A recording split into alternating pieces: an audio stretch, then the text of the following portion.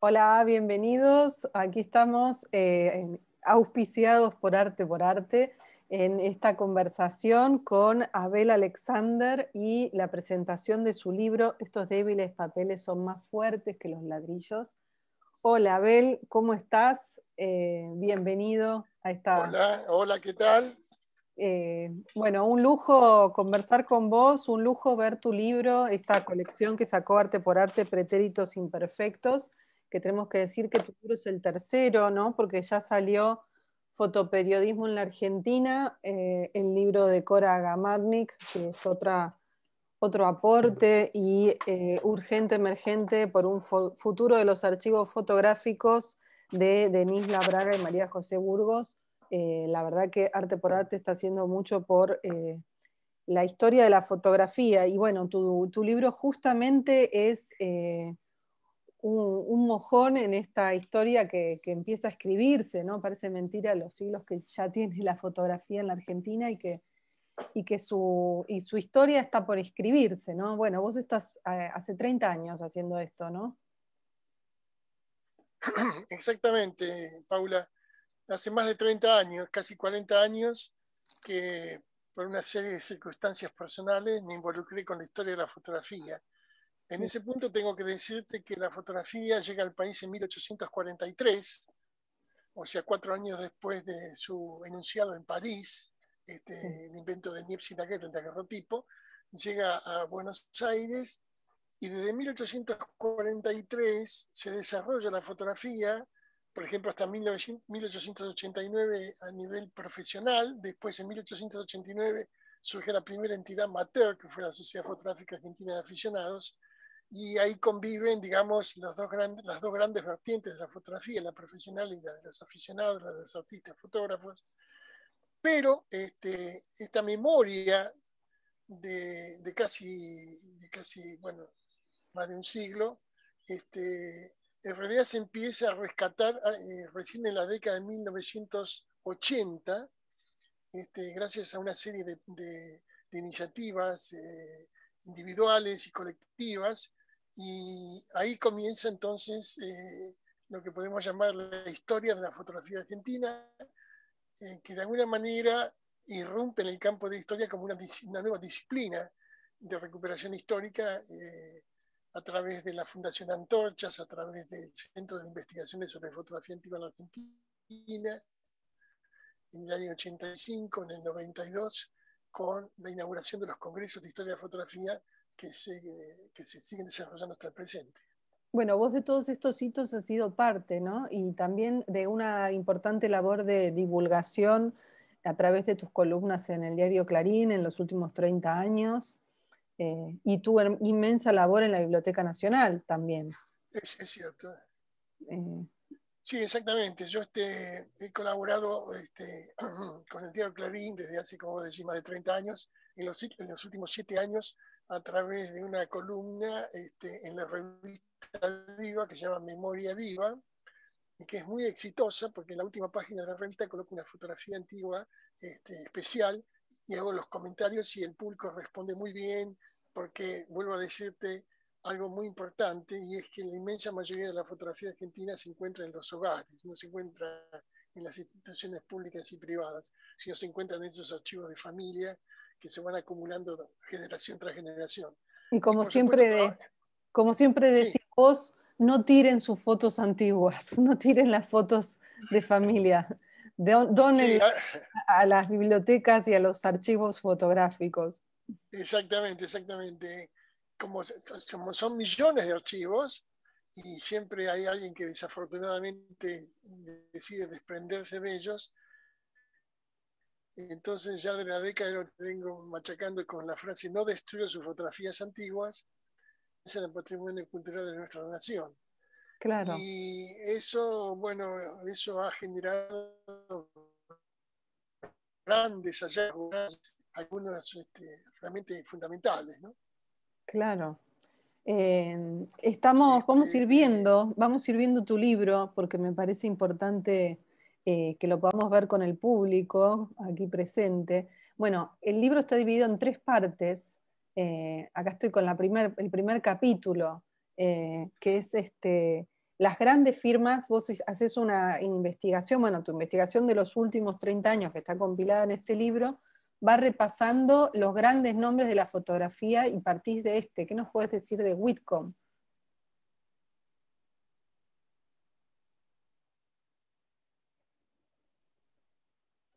La historia es muy interesante. Por empezar, para decirte de que desde el, desde el desembarco de la fotografía en Argentina, eh, que se hizo en Buenos Aires, como dijimos en 1800, a mediados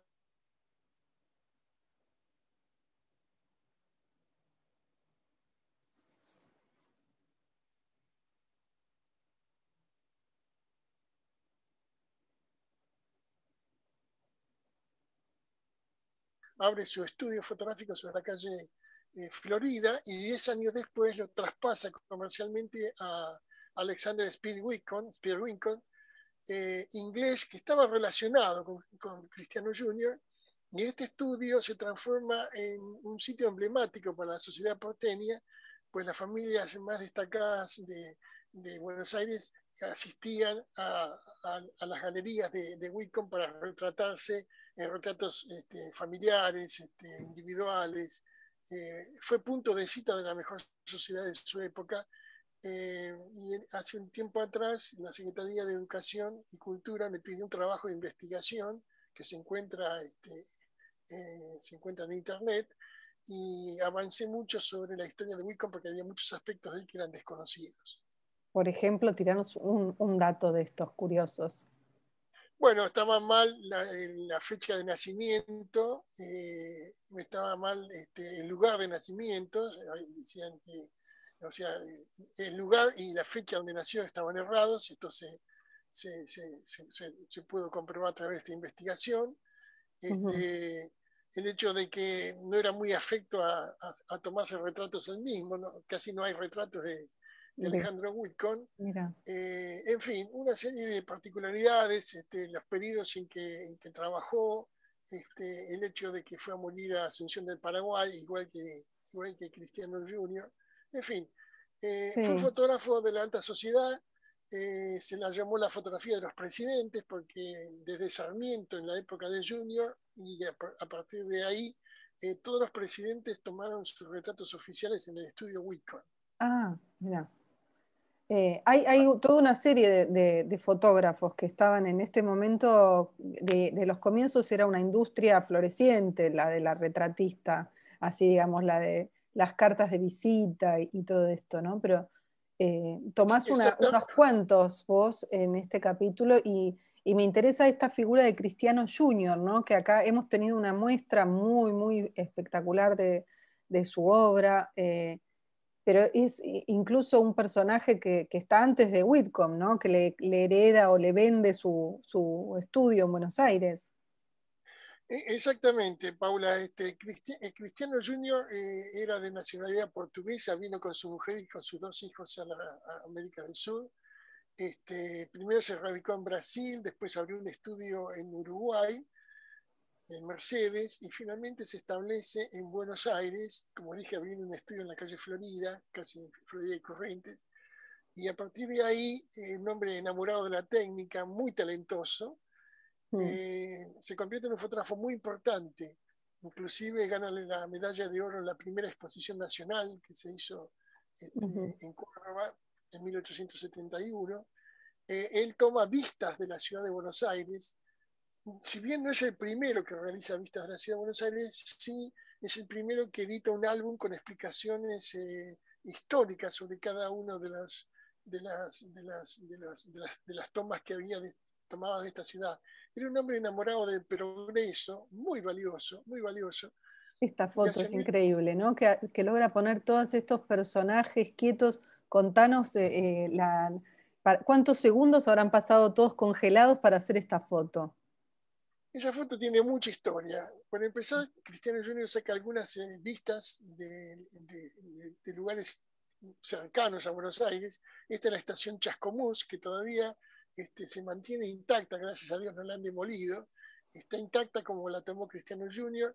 Él coloca a estos personajes en distintos planos y esto es y esto es una teoría mía de que él tomaba a su vez fotografías estereoscópicas, entonces tenía que colocar en distintos planos estas personas para que después para verlas con un visor especial se pudieran ver en tercera dimensión, en 3D o estereoscópicas, como se decía en la época. Claro. Y, este, y esta estación este, hasta el día de hoy se mantiene intacta. Hoy, eh, por una iniciativa que llevé adelante, la Municipalidad de Chascomús tiene una sala dedicada a Cristiano Junior y hay una gigantografía de esta fotografía, ah, digamos que, que, preside esta sala, que está dedicada exclusivamente a la fotografía. Y Chascomús es una ciudad muy importante en el campo de la historia de la fotografía, pues de ahí nació el primer historiador de la fotografía, que es el doctor Julio Felipe Rebó, que hacia la década de fines del 40 y principios del 50 este, coleccionó, restauró, editó este, los primeros ensayos dedicados a la etapa del daguerrotipo. ¿no? Mira, porque hay algo especial en Cristiano Junior que era esto, estas vistas, ¿no? Esta de Mendoza también. Los, los eh, fotógrafos, eh, digamos, su industria era la, carta de visita, los retratos en estudio, pero esto que hace Cristiano Junior de salir, de, en un momento vender todo, irse de viaje por la Argentina a hacer fotos, es como un pionero de, de la foto, digamos, fotoarte, podríamos decir. Eh, sí, en 1878 decide vender su estudio y, vende inclusive sus, archivos de negativos al inglés Wilcon eh, y decide hacer un, viaje por el interior del país. Eh, quería recorrer todo el país conocido para documentarlo en fotografías y entonces este, hace un periplo enorme, una verdadera aventura, una tour de force y esas son fotografías de Mendoza que tuvo, la ciudad de Mendoza fue como su,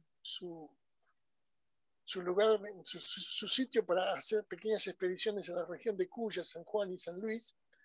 Y él tomó fotografías de la antigua ciudad, o sea, la ciudad que, eh, la ciudad este, que fue destruida por el terremoto del 20 de marzo de 1860, este, y luego la ciudad moderna. Esto corresponde a la ciudad moderna, y esta es la Alameda este, ah. que plantó San Martín. Eh, él recorrió todas las provincias centrales y, del noroeste. Eh, lamentablemente no llegó a editar álbumes este, con la misma rigurosidad que hizo los, dos álbumes de Buenos Aires del 75 y 76. Mm. Qué lindo, estoy mirando, estoy, estaba viendo, ¿no? Como todas estas historias vos las contás en tu, en tu texto, que es un texto que, que tiene algo muy claro, muy ameno, eh, vos contás la historia de una manera que realmente da, dan ganas de seguir investigando y viendo fotos, eh, es algo que tiene tu libro, ¿no? Eh, y acá, bueno, estas son pequeñas biografías y recorridos de, fotógrafos que, vos rescatás de la historia argentina, ¿no? El siguiente capítulo eh, ya directamente haces como eh, Cristiano Junior y vas a investigar eh, pequeños poblados donde floreció la fotografía primera, ¿no? en este capítulo de geografías. Bueno, sí, o sea, siempre, siempre he trabajado con mucho entusiasmo por divulgar la importancia de la fotografía histórica argentina a través de congresos, conferencias, exposiciones.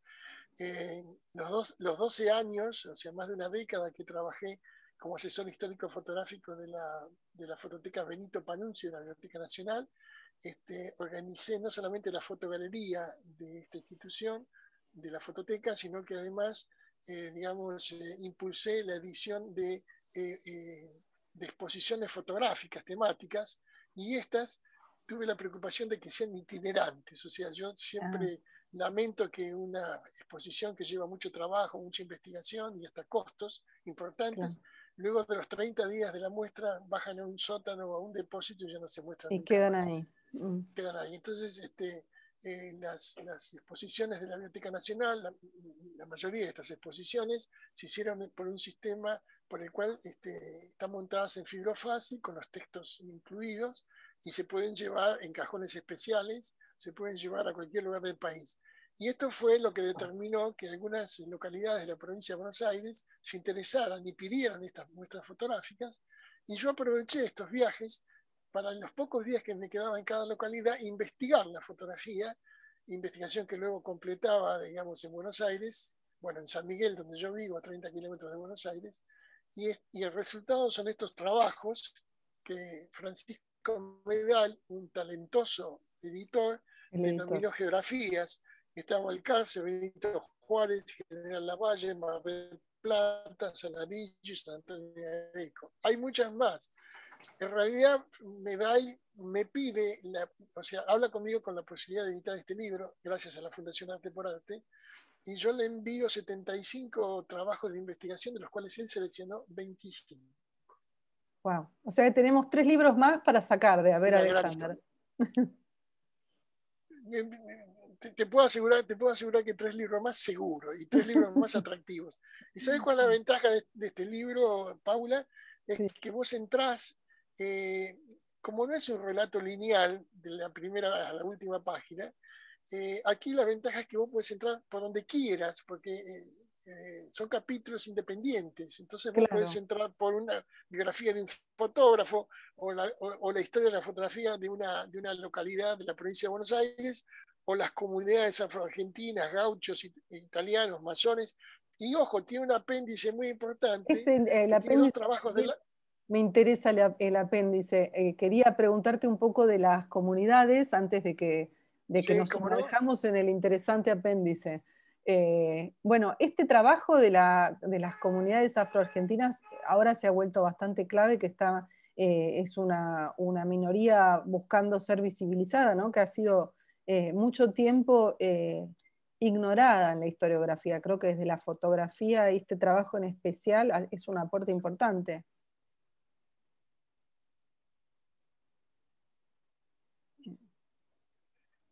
Bueno, con respecto a los afroargentinos, eh, te digo que en mi vida, o por lo menos en mi, en en mi, en el campo de la historia de la fotografía, ha habido, o sea, por ejemplo, eh, hace muchos años, eh, antes, de, antes de dedicarme a esto, yo hice un viaje a Córdoba y visité un anticuario y este señor me mostró, yo le pregunté si tenía daguerrotipo, me dijo, mire, tengo uno, pero la verdad que está completamente destruido, no sé si a usted le va a interesar. Me lo mostró, me interesó porque era una plancha negra que no se veía nada, no se sabía si era un caballo, una persona, una vista, no se sabía nada, era negro, negro, negro azabache, pero tenía, tenía eh, la etiqueta de su, eh, de su fotógrafo, del daguerrotipista, el que lo hizo. Y en ese punto yo investigué hace años de que solamente el 10% de los daguerrotipos están firmados. Ah. Por ese motivo lo compré y cuando regresé a Buenos Aires la entregué a Miguel Cuarterolo, que en ese momento estaba restaurando su propia colección de daguerrotipos, y me llamó muy tarde, a la medianoche, y me dijo, maestro, usted tiene más, eh, más, más que, cabeza, me dijo. ¿Por qué? ¿Qué pasó? Dijo yo.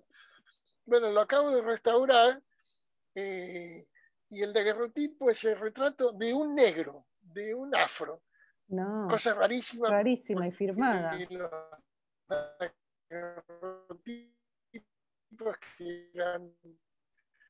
una iconografía de altísimo costo, claro. Este, era muy raro, muy raro de que un negro pudiera eh, posar frente a, una cámara de daguerrotipo, porque ya te digo, son, los precios eran muy altos, más de 100 patacones, decía Remo. Mm.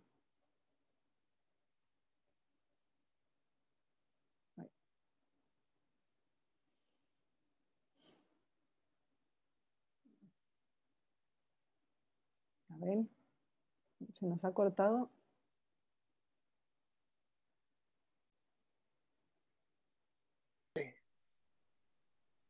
Bueno, y también hay capítulos dedicados a los gauchos y a la comunidad italiana en este apartado. ¿Eso fue más fácil? Sí. Bueno, eh, los gauchos eh, siempre fue una, una, una, aspiración muy grande de los fotógrafos profesionales a partir de, de la década de 1860, en ese caso Benito Panunzi, Esteban Gonet eh, y luego otros se dedicaron a este, a este hombre de las Pampas porque era un personaje muy, muy folclórico y por supuesto despertaba mucho interés en el exterior, ¿no es cierto? Claro. Eh, los italianos porque eh, la inmigración italiana fue fundamental a partir del último tercio del siglo XIX y tengo que decirte, Paula, de que la inmensa mayoría de los fotógrafos entre ese periodo y los primeras, las primeras décadas del siglo XX, la inmensa mayoría de los fotógrafos que se dedicaron a esta profesión eran también italianos que seguían a sus connacionales y que abrían sus estudios hablando el mismo idioma y por supuesto tenía una clientela, digamos, eh, una clientela segura a través de estos paisanos, ¿no es cierto? Bueno, y acá en los, muchos fotógrafos. En los masones aparece tu, tatarabuelo, ¿no? Está eh, Adolfo Alexander. Sí, eh, yo descubrí que mi tatarabuelo fue un masón realmente importante porque durante su, estadía en Buenos Aires, donde, donde falleció en 1881, Alexander llegó a los más altos cargos de la masonería, eh, que es el grado 33. Este, este retrato este es el grado 32. Y entonces se me ocurrió escribir sobre los fotógrafos masones, debido a que muchos de ellos lo eran. Y en las débiles pistas de que eran masones, este, me permitió identificarlos. Así que eh, avancé sobre un trabajo que no se había hecho nunca, que era eh, qué participación tuvieron los, los masones en la fotografía que era, por supuesto, el progreso mismo, ¿no es cierto? Claro, este, este tatarabuelo fue el que hizo que, que, vos, que eras un fotógrafo, te interesaras por la historia de la fotografía, ¿no? Descubrir a este tatarabuelo. Exactamente, o sea, eh, te dije que en mi vida hay muchas causalidades y una de las más grandes es esta, pues eh, yo me dediqué muy joven a la fotografía sin saber que mis antepasados habían sido fotógrafos. Luego abandoné esta profesión y, digamos, y muchos años después eh, volví a ingresar a la fotografía, pero ya interesado, eh, o sea, me empecé a interesar por la historia de mi familia y al interesarme en la historia de mi familia a, a, través de estos registros genealógicos, descubro la actuación de mi bisabuelo como, como fotógrafo y luego descubro que él es el discípulo de su padre, que es mi tatarabuelo, Adolfo Alexander, que nació en Hamburgo en 1822 y falleció en Buenos Aires en 1881. Ahí me encontré entre una circunstancia muy especial. Yo sabía mucho de fotografía, obviamente, fotografía técnica, fotografía de todo tipo, pero desconocía absolutamente la historia de la fotografía, no sabía nada sobre este tema, con la cual me llevó a tratar de saber qué se había escrito en el país. Me encontré con la sorpresa que prácticamente no se había escrito nada, y ahí empezó este libro, digamos. ahí empezó este libro eh, y 30 años antes, 35 años antes, muchísimas cosas más. claro. Ya te dije, la, fundación del Centro de Investigaciones, los congresos, todo. amigos de la Cámara, todo. Eh, y hoy te puedo asegurar, Paula, de que este, la fotografía forma parte ya de la historia argentina Mm. Es una disciplina histórica que antes no había sido abordada. Antiguamente en la fotografía eran ilustraciones de algunos trabajos de historia y nada más. No se sabía ni siquiera quién eran los autores. Ahora, hay ahora, la, ahora la, fotografía se, se, enseña en las universidades nacionales, públicas y privadas. Así que estamos muy conformes con el desarrollo de esto. Y todo se debe a, esta, a, este, a, esta, a este encuentro repentino de este antepasado, del cual no tenía yo noticia de que había sido fotógrafo, se había perdido la memoria. Claro. Pero eh, esto me llevó a, conocer de que había sido masón, e inclusive está, está sepultado en el cementerio de la Recoleta, en el panteón de la logia que él era secretario, ah, que es la logia Obediencia a la Ley número 13. Y en la masonería llega al grado 33, que es el grado máximo dentro de esta jerarquía, eh, la masonería en, todos los países son 33 masones de grado 33, es el Supremo Consejo. Y, es, y esa distinción se debe a su, a su trabajo en una comisión de ayuda a los heridos, en donde la masonería colocó una serie de puestos sanitarios para atender a los heridos de la revolución de 1880. Wow, wow. Volviendo al libro. Te abre muchas puertas. Claro, nos podemos ir por estas historias eh, los últimos apartados eran eh, interesantes, las fotografías estereoscópicas de las que ya nos hablaste con Cristiano Junior, ¿no? Esta posibilidad de ver en tres dimensiones las imágenes que se toman dobles, que son todo un hallazgo, ¿no? Eh, sí, en ese, punto te tengo que decir de que esta, este trabajo surge porque Gastón Delon, este, director de, la... ¿me, ¿me, escuchás? Sí, sí, de la fototeca de la Fototeca Latinoamericana, decide hacer una gran muestra dedicada a la fotografía telescópica, me solicita que participe, digamos, eh, desde el punto de vista histórico, y yo mm. aprovecho para decirle a Gastón de que es el momento de aprovechar esta gran exposición, que tuvo mucho éxito, lamentablemente justo salió la pandemia, pero a pesar de eso tuvo ah. mucho éxito, para hacer un catálogo, porque me interesaba mucho escribir, porque no se había escrito nada sobre la historia de la fotografía estereoscópica que fue desarrollada principalmente por los fotógrafos aficionados, ah. muchos de ellos de la Sociedad Fotográfica Argentina de Aficionados. Pero sobre este tema no se había escrito nada.